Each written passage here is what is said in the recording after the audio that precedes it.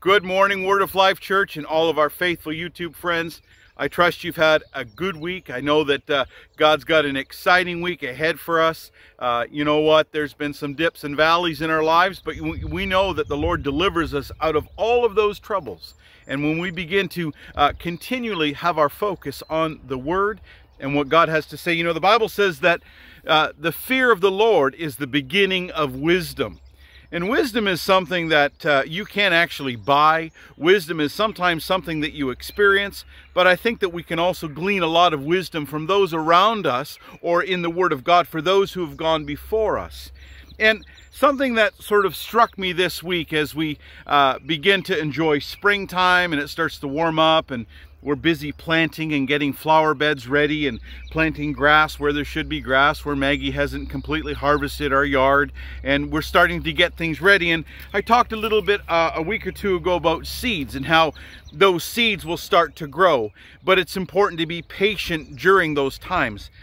And I think that you know we talked again about patience having its perfect work in you that we don't actually like that because patience means to be sitting still and allowing the process to work.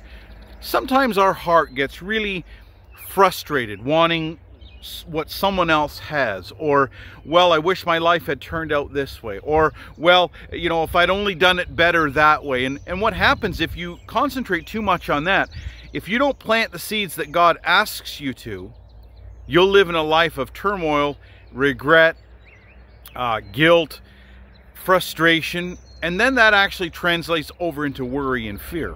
Fear for the future, fear of what does tomorrow bring.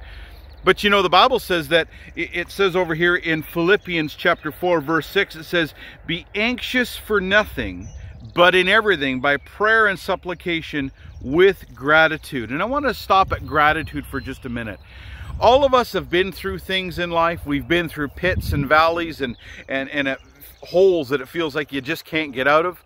But, but, the Bible says, according to this, it says to be anxious for nothing, but by everything. And so everything is what you've gone through. Everything is what you're going through. Everything is what you desire. But he says, I want you to look at this with gratitude. Gratitude is sort of thanking the Lord in the middle of the process. We don't like the process. The process sometimes makes us feel like, uh, you know, you're undone or I, I just can't figure this out or I just can't do this or I just can't find the victory. But I, I want to encourage you in that process, doesn't it sort of place us in the hands of the Lord? Doesn't it place us in the hands of our Creator? Doesn't it place us in, in, in, you know, our lives in the hands of our Almighty God? And when you begin to really begin to look at that, suddenly gratitude will take over. And gratitude is something where you're thankful for the process. You're thankful for the past, even though there may be hurts, there may be things, there may be pain in that process. But gratitude begins to pull you out of regret. It begins to pull you out of what could have been. It begins to pull you out of what should have been. I've done many weddings over the years, and one of the things that I can truly, unless, you know, anyway, I really believe this, that when the weddings that I've performed, when that couple was standing there, and we used to, I would always kind of share that through our marriage counseling, but when they were standing there with that love in their eyes and, and, and we're about to talk about our vows and seeing that the love and admiration that they have for one another, they're about to embark on a big commitment, a commitment that really should be designed for a lifetime. But the one thing I've often thought is I've never saw two people at an altar wishing it was the other, uh, the, the last boyfriend or girlfriend standing in front of them, right? I mean, let, let's hope not. I'm sure that that's happened. But for the most part, the two people were in love. And so even though that process wasn't fun getting there, maybe there was some breakups in the past, or maybe there was some situations in the past where they went from one crisis and they moved out of that crisis and they came to the place of where today they were about to uh, enjoy holy matrimony. So nobody likes that crisis. Nobody likes, you know, there, there's a book uh, written years ago by Edwin Louis Cole talking about entering and leaving crisis. Nobody likes that because crisis isn't fun. But the only way you'll ever begin to embrace the new or, or, or what God has for you is to exit where you've been and begin to enter into what God has. And so in this scripture here in Philippians, it says, Be anxious for nothing, but in everything by prayer and supplication with gratitude. So gratitude is thanking the Lord in the middle of the process. When I look at my lawn, there's an area by our house where Maggie has got a hole no less than two feet. It's absolutely incredible how something could dig that quickly, dig down that far. And so as I filled that in and now I'm waiting for the grass to grow, that's a process. Now I could look at that every day and get discouraged and say, well, you know, you, you, this dog just is destroying our yard. It's just, it's just kind of wrecking things the way we just never planned that. But she is still in the puppy stage. So there will be a time and, and, and we're going to believe God that that's way, way, way down the road, that we won't have Maggie anymore. But I'm going to learn to begin to thank God for Maggie in the process. It's not fun at times. Your process might be far deeper than raising a family dog and filling in holes in your yard. Maybe your process is trying to find that job. Or maybe your process is trying to mend a broken heart. Or maybe your process is trying to mend a relationship that's been shattered. I want to encourage you today. The Bible says to be anxious for nothing but by prayer and supplication, let your requests be made known unto God. But I think that the catalyst in all of that, it said, we read that there a little bit, with gratitude needs to be uh, sort of tucked away in your prayer. Thanking the Lord in the middle of the process, thanking the Lord in the middle of the situation, thanking the Lord even when it's not fun. And sometimes those are the hardest things to do because it's not fun going through the process. It's not fun having pain. But at times when we begin to begin to thank God that in the middle of all of those things that we're going through, the Bible says that we will come out because in Christ we have the victory. Sometimes the victory that you have, and again, going back to the to the married couple, I've talked to people at times in the middle of a real sad breakup, they would never see that there could ever be a future. They would never see that they could ever be happy again. But if you begin to look at take gratitude, if you begin to to literally give your life over to Christ and say, it's in your hands. I'm going to trust you. I'm going to honor you. I'm going to love you. I'm going to obey you with gratitude, thanking God for that process. Seeds are growing in your life, positive or negative. And so I just found it interesting because our human hearts at times, we get tricked into living in regret or we get tricked into living in what we could have had or what should have been or you know, we, we call those the woulda, coulda, shoulda we get tricked. Maybe there's been loss in your life and you say, you know, I, I, could have did things differently or had I only said things differently. But the Bible says that when you begin to live that life of gratitude and thanking God that in that process, he will strengthen you and he will carry you. We talked about that scripture in Isaiah, my favorite one, where it says he sustains me and he carries me. So Feelings are something that we should embrace. But God, in the middle of all those feelings, says, when you come before Him with thanksgiving, when you come before Him with praise, when you come before Him with uh, uh, gratitude for the process, we don't like the process. We don't like the process that we're going through at times, but if you'll stay the course, you'll come out on the other side. I'm, I'm, uh, I'm challenged, or I love this scripture here in Proverbs 19, verse 23, it says, For the fear of the Lord leads to life. Then one rests content, untouched by trouble. I think contentment is something that we all would really like to find, but I believe it starts with a choice. It starts with a choice saying, number one, we're going to have to trust God in the process. Number two, the word says the fear of the Lord is the beginning of wisdom. And so if you need wisdom, we know the Bible says to ask God. So ask God in the process. So this is the part that we don't like. Right now, in your process, you might be very uncomfortable. Your heart might be broken. Your spirit might be just, just depleted. Your body might be really tired. You need to come before the Lord and say, Lord, what needs to change in my life? What process needs to move me from point A to point B?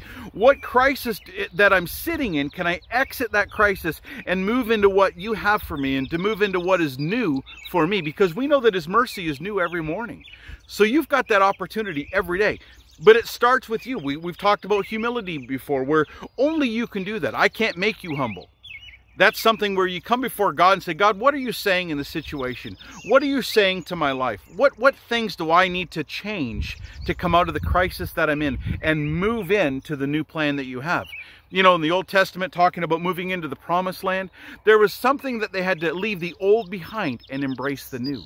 You as a Christian need to leave the old behind and embrace the new. Know that God is moving in your life. Know that he desires a good day ahead of you. Know that even though, and, and remember this, he never said you weren't going to have trials and temptations. He never said you weren't going to have testing. He never said you weren't going to go through these things. But through Christ, in all these things, we are more than conquerors. I'm kind of preaching here today, but I want you to catch this. Be anxious for nothing, but in everything by prayer. Everything means the stuff that you don't like. Everything means the stuff that frustrates the, you know, the, the life out of you. That, that when you're when you're anxious or when you're frustrated, you're not productive. And if your life is not productive, we go back to that human heart that says, well, I wish what somebody else, I had what somebody else has, or I wished I had done things differently, or I wish my life had turned out different. Don't wait till the last day that you're alive to say, you know, I wished I, don't, don't live in that regret where you're saying, well, I don't know if I, begin to embrace today and say, you know what, God, this is the day that the Lord has made. I will rejoice and be glad in it. And I'll move from crisis there I where I am, and I'll move into what God has for me.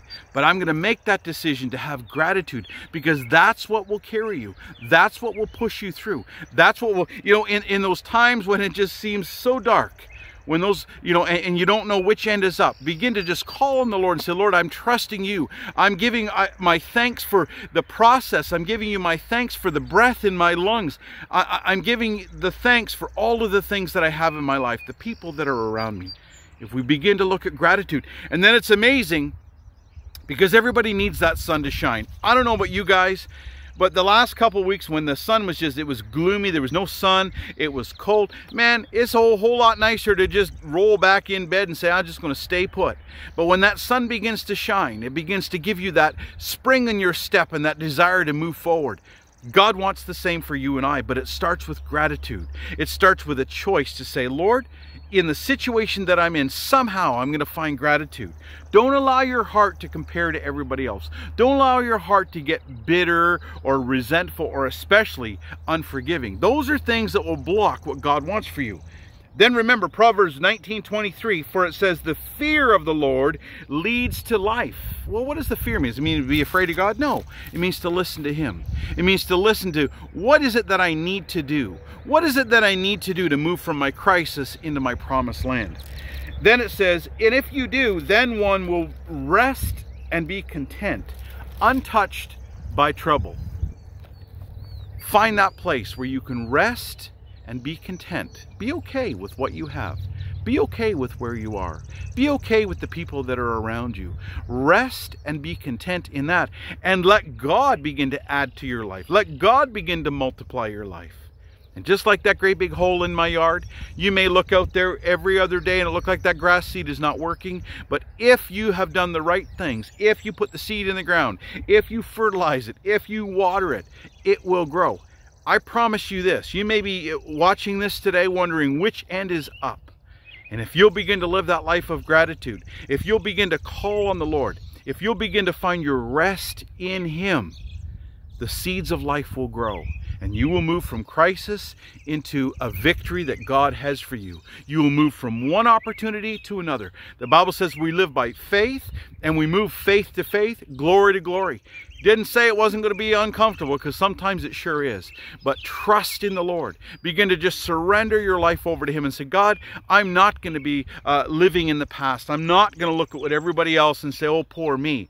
Eeyore did that. Didn't get him out of, you know, Winnie the Pooh. But in your life, begin to trust and say, you know what? Chin up, the sun's shining, and there is going to be a better day ahead for you and I. So let's trust in the Lord with all of our hearts. Let's come before Him with thanksgiving. Thank Him and find contentment. And then in all of that, in your heart, ask for wisdom. Ask for the Lord to bring you wisdom on how to make the next step. And you'll come out of that on the other side and you will cross over. Anyway, I don't want to ramble on. Just before this, my wife had messaged me and said that there's a bird flying around in our bathroom because I uh, they, they get in our dryer vent. And so uh, anyhow, I moved the dryer to see if there's a nest up in there and she messaged me and said it's flying around the house. So we'll see how well she's handling that moment. We'll see how well she's handling that trial or situation. But we're going to go and uh, hopefully uh, the bird has flown outside and, and uh, the day will be saved. But uh, blessings to everyone. Let's just pray. If you've never made Jesus Lord of your life, if you've never surrendered your life over to Him, that is the first thing you can do to move from crisis into what God has for you. So if you'd like to pray with me, I, it starts with you inviting Christ into your heart, surrendering your life over to Him, and letting Him be your pilot, not a co-pilot. He wants to pilot your life. Amen? Lord Jesus, we just repent right now for those areas of our life that are sinful.